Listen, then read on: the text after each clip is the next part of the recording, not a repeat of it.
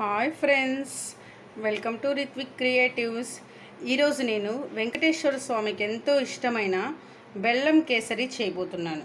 దీనికి కావాల్సిన పదార్థాలు ఏమంటే మనకి మెయిన్ నెయ్యి కావాలి అలాగే రవ్వ బెల్లము జీడిపప్పు బాదం పప్పు ఇలాచీ పౌడర్. ఇవి అండి ఈ ప్రసాదానికి కావాల్సిన ఇంగ్రీడియంట్స్. మనము ఒక బాణలు తీసుకొని దీంట్లో ఒక ఫోర్ టీ స్పూన్స్ నెయ్యి యాడ్ చేసుకోవాలి. ఇక్కడ నెయ్యి యాడ్ చేసుకోవడం అనేది మన ఇష్టం అండి. ఫోర్ టీ స్పూన్స్ అనే ఏం లేదు. మనకు ఎంత కావాలంటే అంత నెయ్యి యాడ్ చేసుకోవచ్చును. మనం తీసుకున్న రవ్వకు తగినట్టు నెయ్యి యాడ్ చేసుకోవచ్చును. నేనైతే ఇక్కడ తక్కువ వేసుకుంటున్నానండి.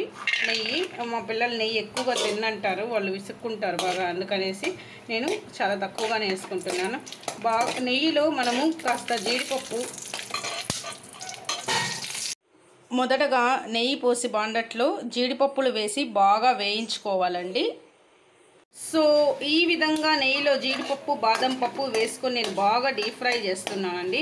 ఇలా బాగా రెడ్డిష్గా వచ్చిందంటే మనకు మంచి స్మెల్ వస్తుంది. అలాగే తినేటప్పుడు కూడా చాలా టేస్టీగా ఉంటుంది.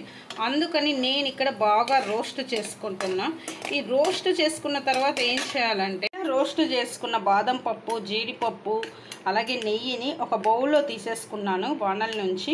ఒక బౌల్లో తీసుకొని అదే పాన్లో నేను ఏం చేశానంటే రవ్వ వేసుకున్నాను. రవ్వ మన ఇష్టం అండి మనకు ఎంత కావాలో అంత వేసుకోవాలి. మన నేనైతే ఇక్కడ ఒక కప్పు రవ్వ తీసుకున్నాను. ఒక కప్పు రవ్వని నేను ఇక్కడ బాగా ఫ్రై డీప్ ఫ్రై చేస్తున్నాను.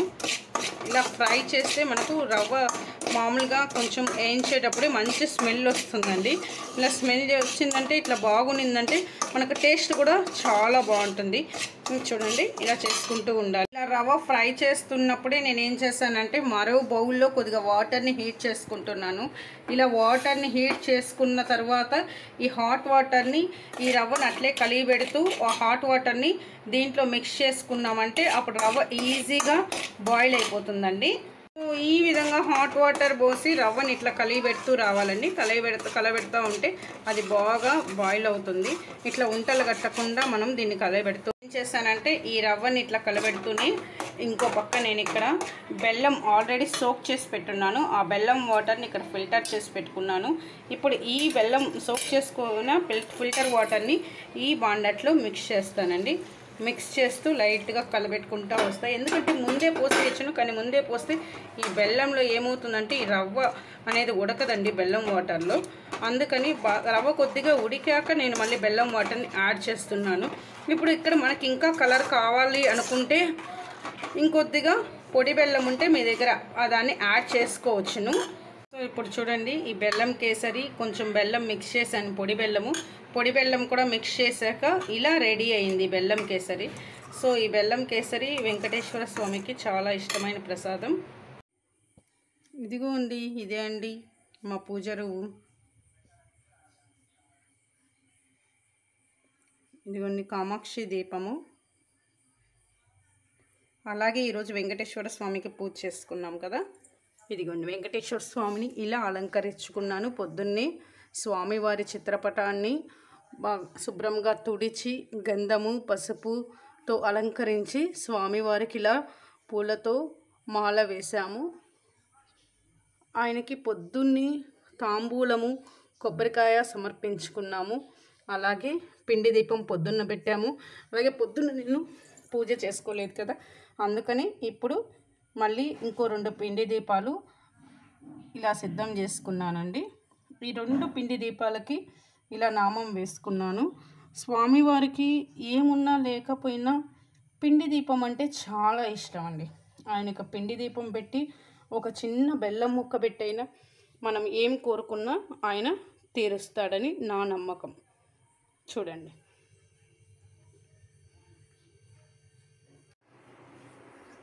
ఇదిగోండి. పిండి దీపాలు. పిండి దీపాలని ఇలా వెలిగించాను. చూడండి ఆయనకి పిండి దీపాలు అంటే చాలా ఇష్టం. వరదరం బంధం శశివర్ణం చతుర్భుజ ప్రసన్నవదయం జావే సర్వ విఘ్నోపశాంతయే. అకం అనేక అనేకదంతం పద్మాకం ఏకదంతం ఉపాస్మహే.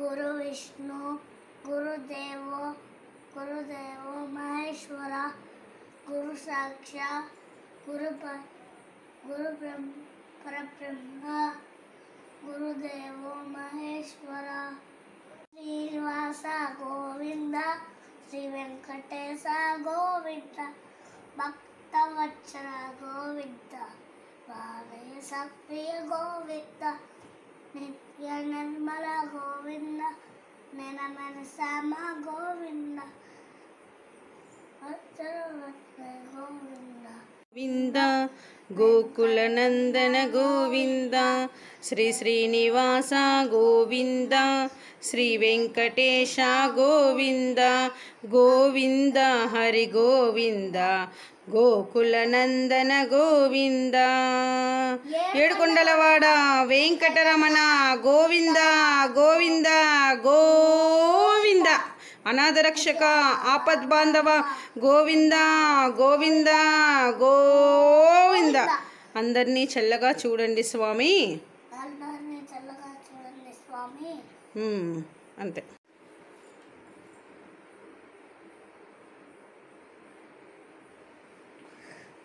ఓం श्री श्रीनिवास गोविन्द श्रीवेङ्कटेश गोविन्द भक्तवत्सल गोविन्द भागवतप्रिय गोविन्द नित्यनिर्मला गोविन्द नीलमेघश्याम गोविन्द पुराणपुरुष गोविन्द पुण्डरीकाक्ष गोविन्द गोविन्द हरिगोविन्द गोकुलनन्दन गोविन्द नन्दनन्दन गोविन्द నవనీత చోరా గోవింద పశుపాలక శ్రీ గోవింద పాప విమోచన గోవింద దుష్ట సంహార గోవింద దురిత నివారణ గోవింద శిష్ట పరిపాలక గోవింద కష్ట నివారణ గోవింద గోవింద హరి గోవింద గోకులనంద ఫైనల్గా పూజ పూర్తయిందండి.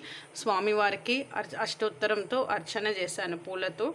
అలాగే వెంకటేశ్వర స్వామి అష్టోత్తరము పద్మావతి దేవి అష్టోత్తరము అలాగే వారి అష్టోత్తరము పద్మావతీదేవి అష్టోత్తరము లక్ష్మీదేవి అష్టోత్తరంతో పూజ పూర్తయింది. స్వామివారికి నైవేద్యంగా ఇందాక నేను చూపించిన కేసరి అలాగే పానకం కూడా ఇచ్చాను హారతి ఇచ్చాను. స్వామివారికి మీరు కూడా స్వామివారిని ఇలా పూజించుకోండి.